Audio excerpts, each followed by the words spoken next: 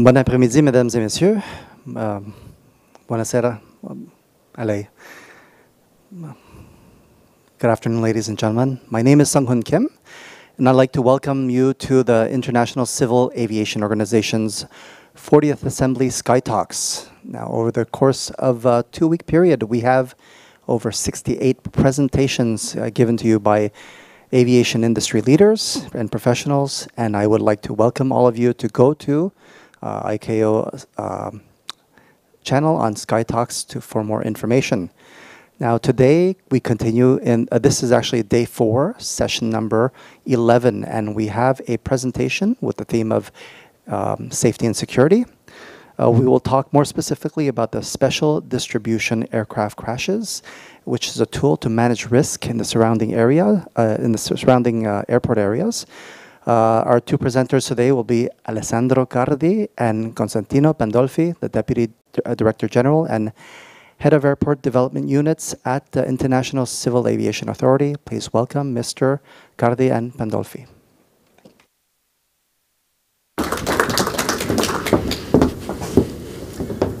Good afternoon, ladies and gentlemen. Alessandro Cardi uh, speaking now. Uh, we will uh, present you this uh, tool that we have develop developed a few years ago, and uh, we have applied uh, for our regulatory functions.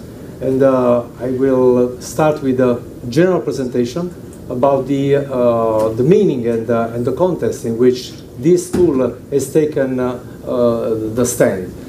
We started with a consideration a few years ago uh, after a few accidents that uh, repeatedly uh, interested some uh, airports and the vicinity of airports and uh, realizing that the, uh, the let's say the exposure to the risk of persons living around the airport is really something much more than people traveling on board of aircraft.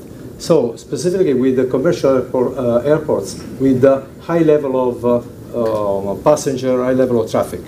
Then we uh, started to uh, collect Uh, these uh, accidents and uh, in order to put in, in, a, in a way that can be managed and read by the users and utilized for in a practical manner.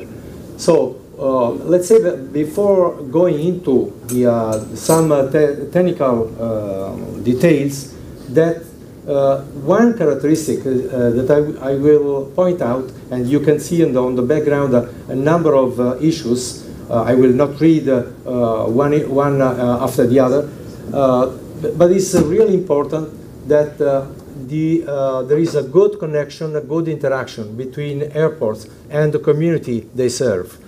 Uh, the sustainability of an airport is, uh, of course, uh, dictated by environmental reason, but not only. Also, the feeling that the airport is safe also for inhabitants and for the people living around the airport. So, a good planning uh, inevitably start with a good land plan use uh, uh, around the airport.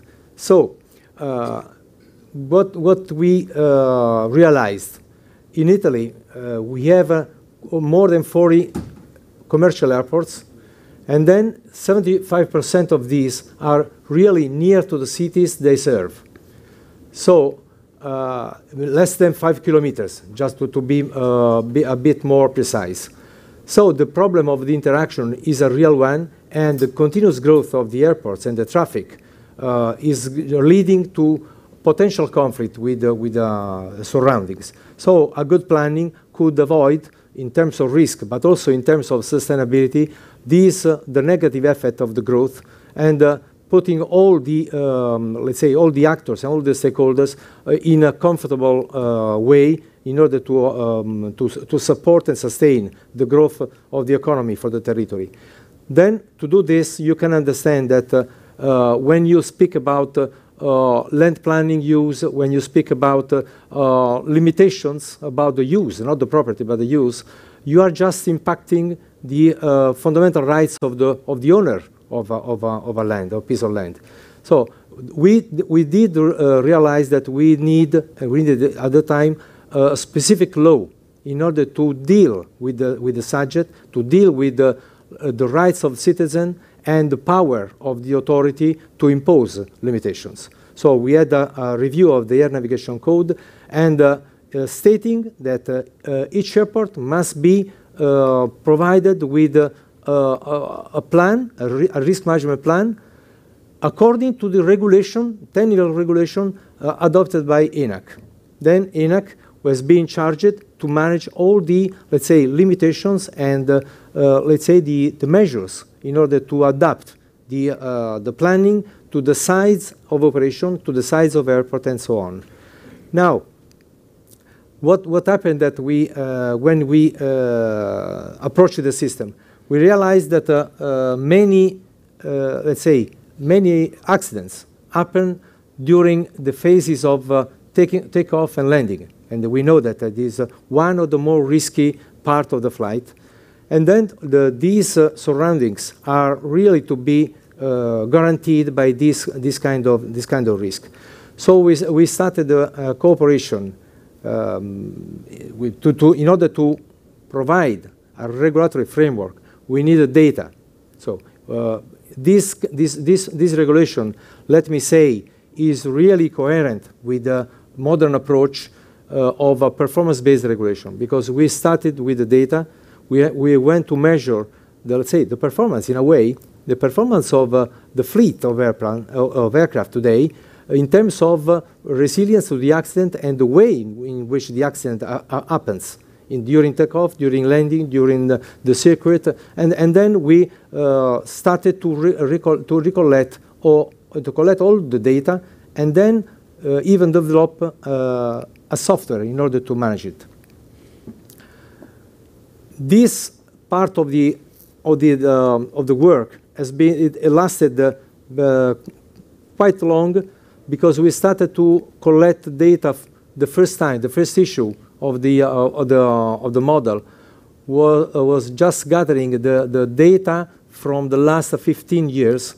Then we updated with the subsequent three years, and today we are running a second, let's say, um, amendment of the tool in order to uh, include also the last uh, three years until the 2018. So uh, at the end of the game, the tool in the, in the next months will, uh, will provide information having collected data for more than 20 years. And uh, all the data are, uh, let's say, plotted in a, in a chart that we'll see in a, in a moment in order to uh, provide a good view and uh, immediate um, reading of the, how the risk is spread and how the risk is um, uh, is modifying itself uh, depending of the, the, the, place and the distance uh, from, the, from the runway.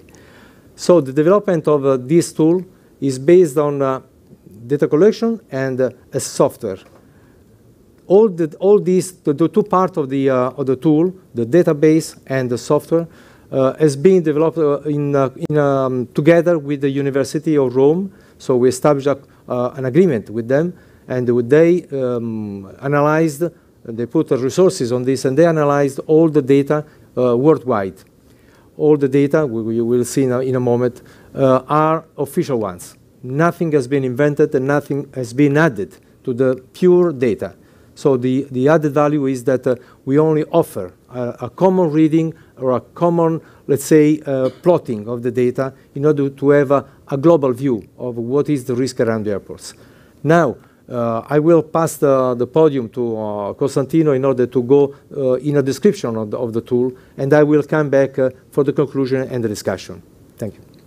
Thank you, Alessandro. And after the introduction made by Alessandro, we can show how we imagine we realize our software in order to have the, the first indication in order to define the public safety zone around the airports. So the, the tools is named SDAC, Spatial Distribution of Aircraft Crashes. And uh, first of all, we uh, analyze the, all the main uh, data bank available on internet or the, and uh, on the other publication. And for each event registered in the last 20 years, we extract the, the information that you can see on the, on the, on the screen. and, uh, for example, the, the date, the airport information, the length of the runway, and uh, the, the kind of the aircraft, the class of the aircraft, and the consequences important of, the, of, the, of, the, of the events, of the incident. And uh, the main effort uh, were, were made to, in order to analyze, to define the exact location respect to the, the runway. So the first approach and the first release of the of the of the software at the moment we have uh, the events registered in the last 20 years uh, from 1977 until 2015. Now uh, is ongoing the last uh, update of the software until 2018. So how on this table you can uh, see how the uh, 1,700 uh, more or less events are reported from each year and, and the mix between the general aviation, military aviation, commercial aviation, and, and so on.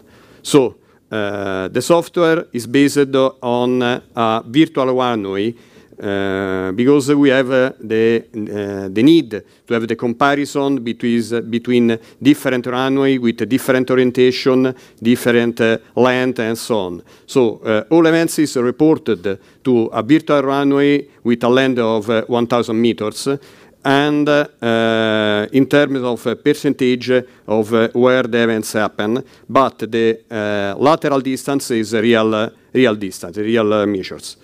And uh, as you can see on the screen, we have the, the landing from one side and the takeoff on the other side.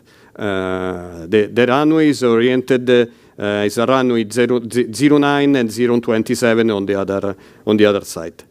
And uh, this is uh, uh, the, the graphic uh, representation of the of the tools. We have the runway represented on a grid and then we can choose uh, the, uh, our our zoom, our vision that we want to have to analyze the, the, the, the, events.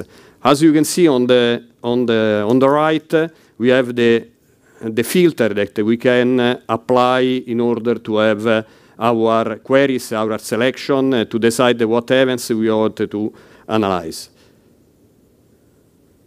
So the main function is uh, reported on this, this slide. Uh, we can uh, apply the filter in order uh, to, to analyze the events and uh, to analyze the location of the events in terms of distance from the runway and uh, to understood to, if, to understand if it's an event of veer off, on, an overrun, and, and so on some example of application. Here we have the same uh, representation with a zoom uh, with the filter uh, changed on the on the right.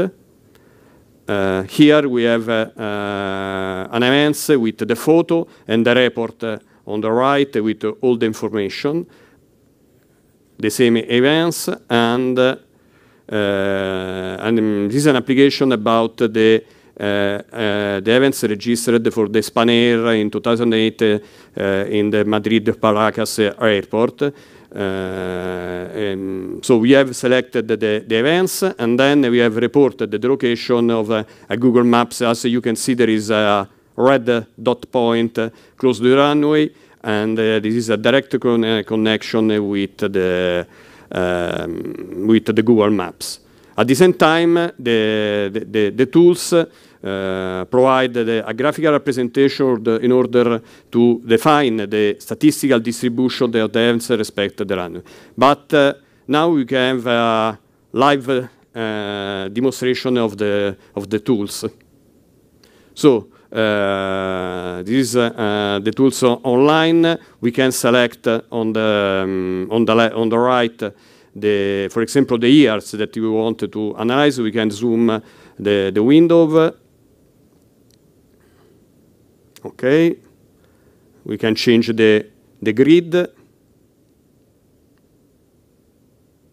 to, this is, uh, each grid is uh, uh, 100 meters, so you can see that the runway is uh, 10, square is uh, one kilometer long, and we can select the year um, from the OK.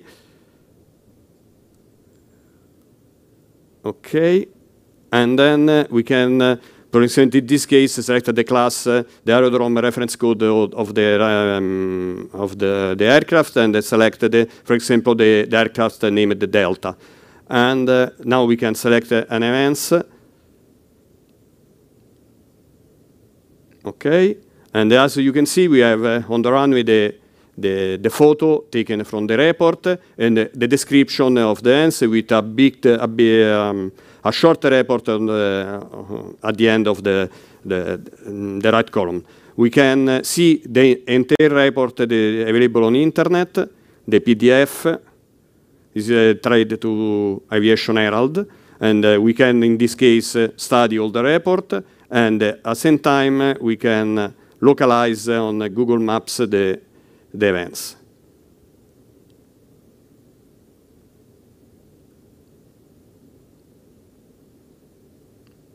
A few seconds for the representation.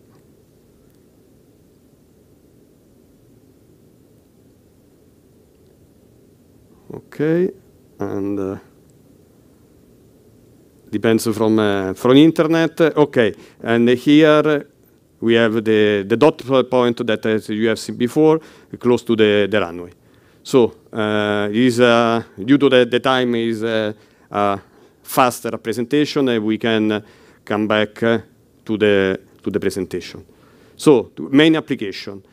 Analyzing the, the, the tools, we design the public safety zone around the, the runway and uh, if you remember that uh, we have the landing from one side and the takeoff on the other side, we have seen that uh, the events is more concentrated of the center line on the, for the landing, and we have um, uh, more dispersion uh, on the, for the takeoff. So the combined these two aspects, we uh, draw the the public safety zone that you have that you see on the on the screen. Obviously, we have uh, the red zone that we, we, we call aid zone, uh, with, uh, in which we have more attention to the urbanization, and uh, our attention, our uh, protection measures decrease with the, when we have more distance from the, from the runway. This is for airports dedicated to commercial uh, uh, operation and uh, same analysis is made from the General Aviation Airport with a different public safety zone. Uh, with this, we uh, have the application uh, we, Eh, of our, our eh, um, eh, airport na navigation code in terms of the description of the public safety zone in order to protect the urbanization around, around the airport. So, the Italian experience is also so described in the last release of the airport planning manual of ICAO in the part 2 land use and environmental management that dedicate a, specific session to our experience and describe the software and so on with the last imaging with the, figure that I have showed to, you. So um, the other main application obviously is uh, this, uh, tools is also used by the Aerodrome Design Operation Panel of ICAO in order to analyze and to support the amendment in terms of uh, regulation of the new release of the Annex 14 and the related documents.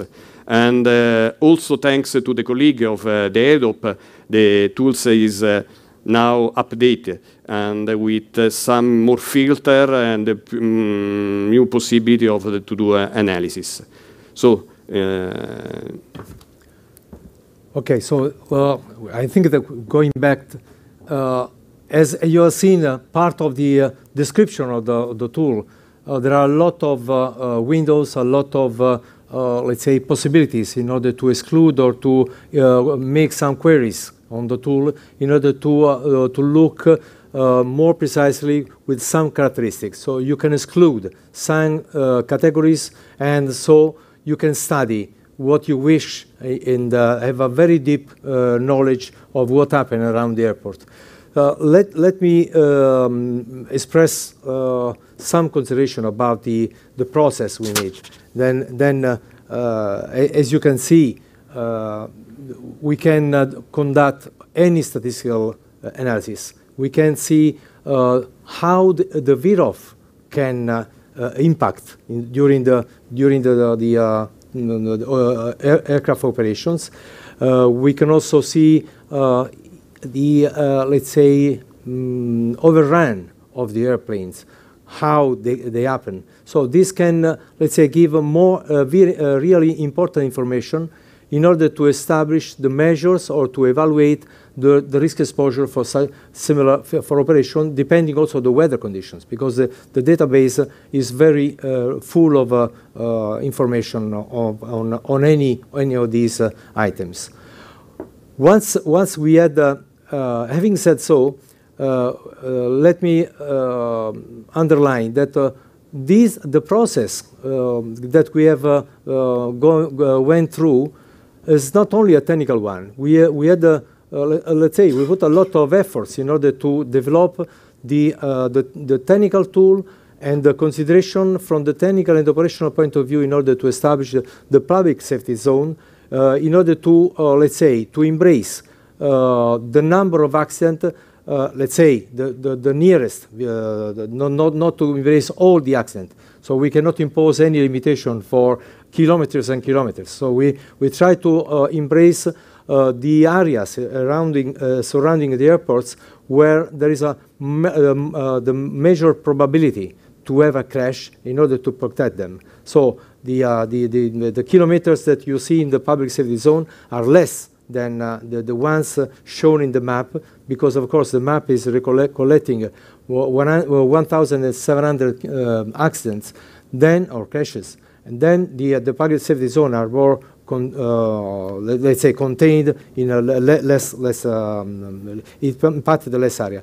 From the administrative point of view, uh, once we had we uh, issued the regulation for for public consultation, we received a lot of comments, and uh, let me say that uh, there have been a lot of discussion with, the local communities in order to convince them, or let's say, to let them um, uh, comply with the new rule, understanding the meaning of the rule, and this has been a very tough task. We involved in this exercise, we made a, roadshow, and we, we met more than 400 uh, communities in order to show the, uh, the, the, tool, to convince them of, of the, the, the, way to use the tool.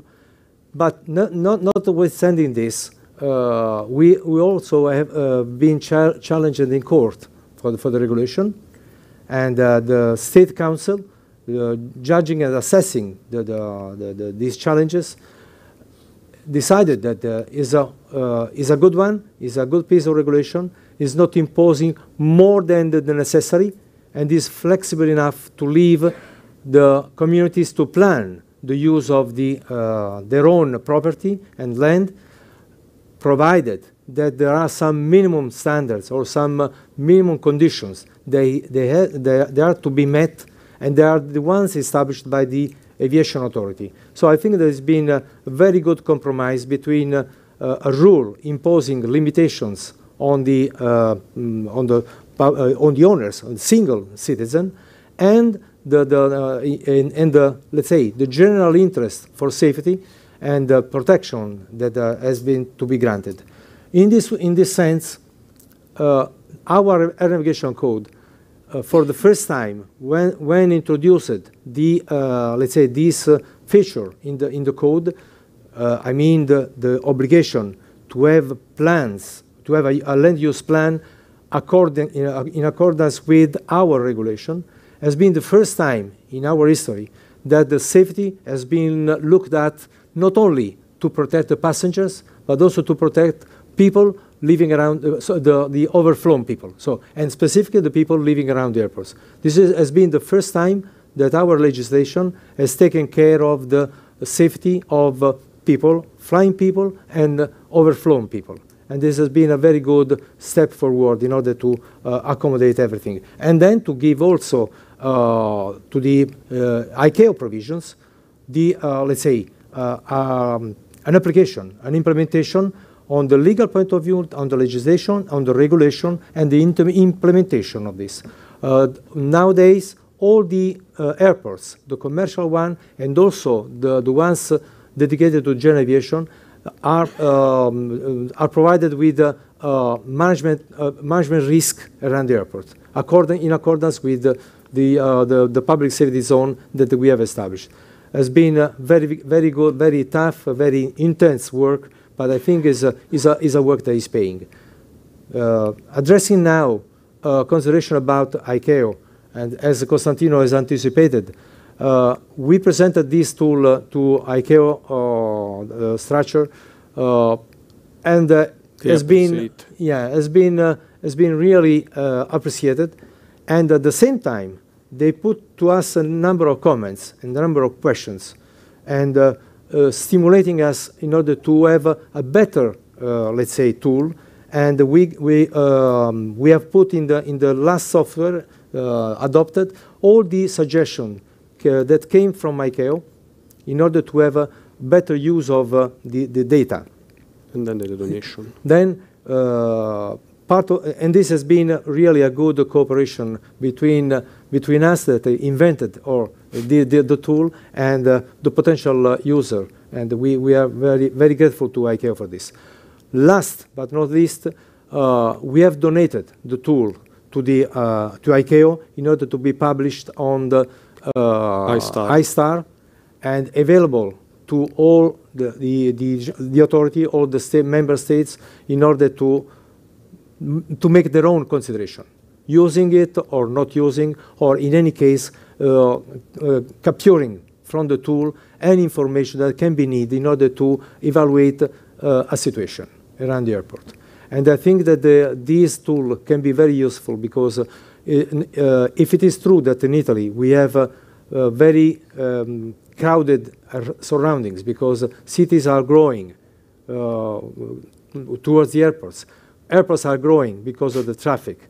So it's not a, it's not a situation, uh, uh, a typical situation for Italy, but it's a situation that is uh, true all over the world. So may, more or less, depending on the on the on the situations. But uh, it, seem, it, seem, uh, it, seems to me that uh, we can use and we can we can propose to the to the other member state the use of the tool for improving the safety. Okay, then I think that we we can stop here with the presentation, and we are available for any question or comments or curiosity that we can uh, Should anybody satisfy. have any questions uh, to this presentation, please, I invite you to step forward to the mic. Okay, well, Alessandro Constantino, gra grazie a lei. Great presentation. Thank you so much. Okay. Thank you.